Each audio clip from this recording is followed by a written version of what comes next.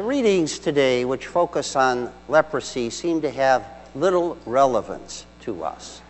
I'm quite sure that none of us know any lepers. But on closer inspection, we can see that the gospel offers us an important lesson in compassion. Now, unlike our contemporary culture, leprosy was well understood in ancient times. The disease attacked the nerves in the skin and was horrific.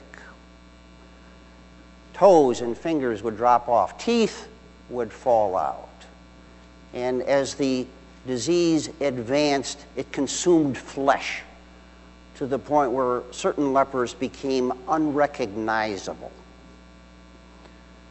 And the lepers not only had to deal with these terrible physical afflictions, but also they were ostracized from their community for fear of contagion.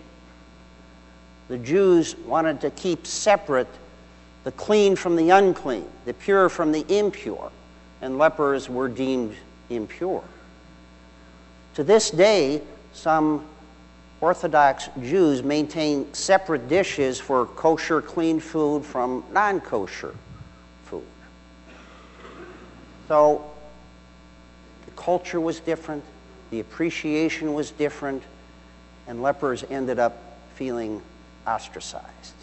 Now, Jesus also touched the leper, and that's a shocking aspect of this gospel.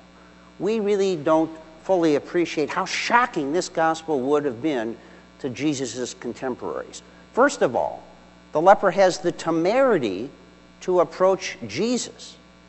Lepers were supposed to maintain their distance and cry out, unclean, unclean, if they came anywhere near other people.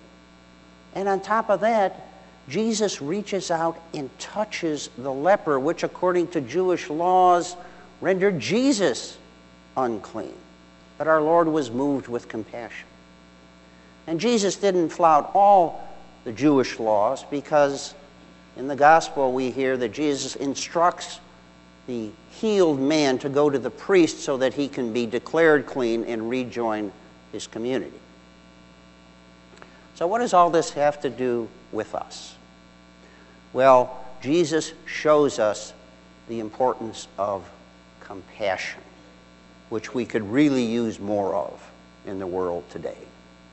The very word compassion means to suffer with, and there is lots of suffering. All of us, sooner or later, will experience suffering. We may experience pain or suffering because of something going on at school or at work.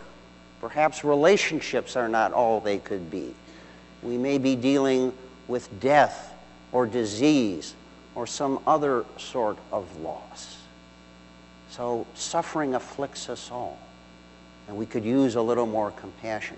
In our lives, one of the most important things we can do is reach out and help people who are suffering, especially like the leper, by reason of isolation.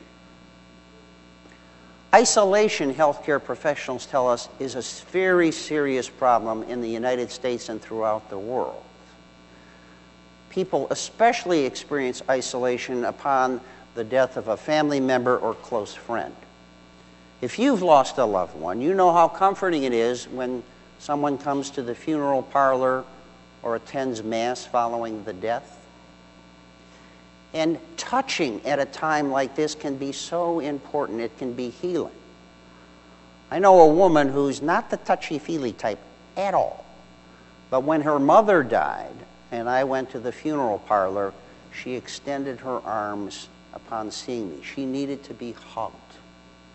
And it was healing for her. Touching or hugging can do more good than any words we might offer. And we need to remember, too, that after the burial, we should continue to reach out to the grieving person.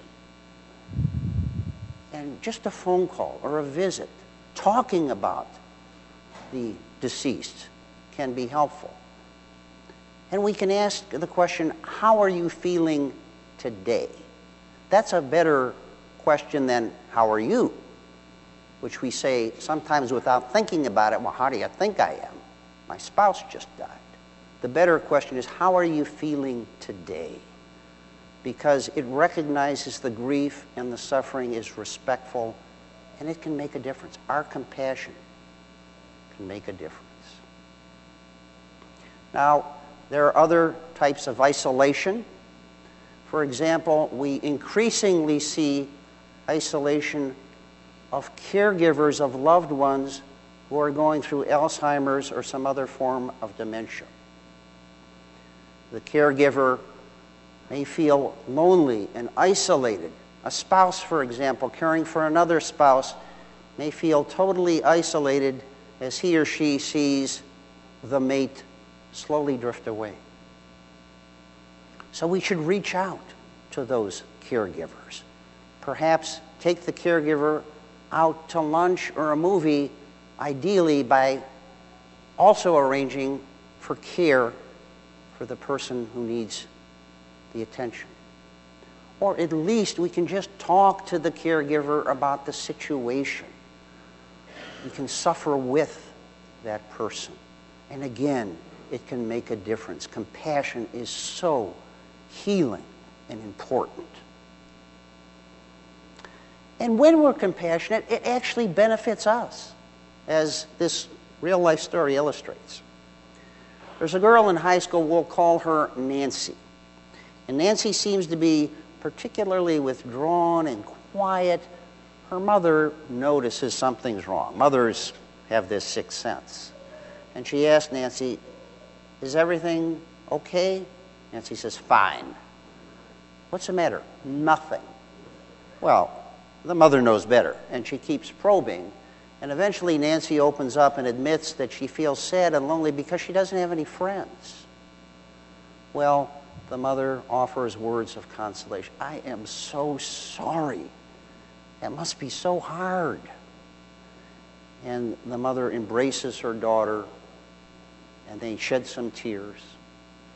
And then the mother offers some very practical, wise advice. She says, Nancy, do you know anyone who seems maybe even more lonely than you are? And Nancy thinks and remembers there's a girl at school who at lunch sits by herself. She's always alone. And the mother says, Well, why don't you go up to her and just see what happens? So the next day, Nancy joins this girl at lunch, and in short order, they become best friends.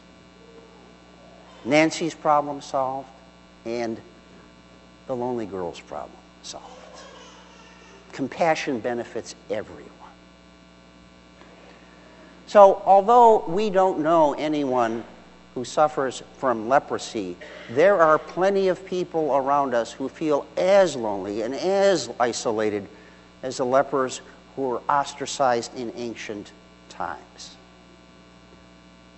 And in truth, we are all lepers sooner or later. We all feel lonely and isolated. This gospel reminds us how important it is to be compassionate. And as you'll hear in a moment, this is an opportune time this weekend for us to show our compassion to others in our community.